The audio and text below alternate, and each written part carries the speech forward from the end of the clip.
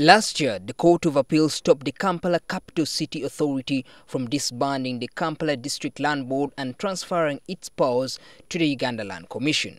Justice Steven Kavuma, who made the ruling, also restrained KCCA from creating a new land board.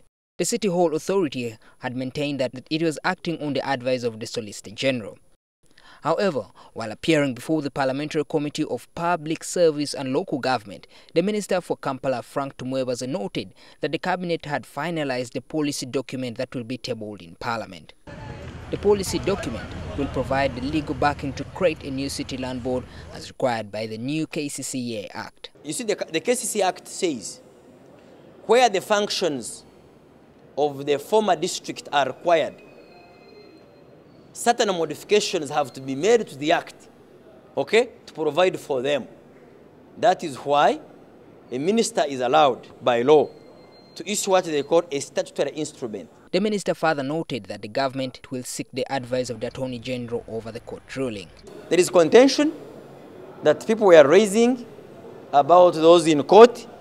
Well, on legal matters, on legal disputes, I will seek the guidance of the Attorney General. But some legislators have expressed concern about some of the evictions that the authority has already started effecting despite an existing court order stopping the KCCA from doing so. It could be some kind of fraud at the hall.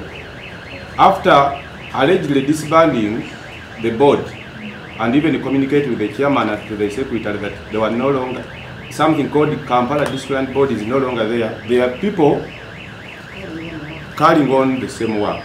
Some experts are worried that if enacted, the new regulation may give the executive director too much power in handling city matters. Maurice Ochol, NTV Parliament.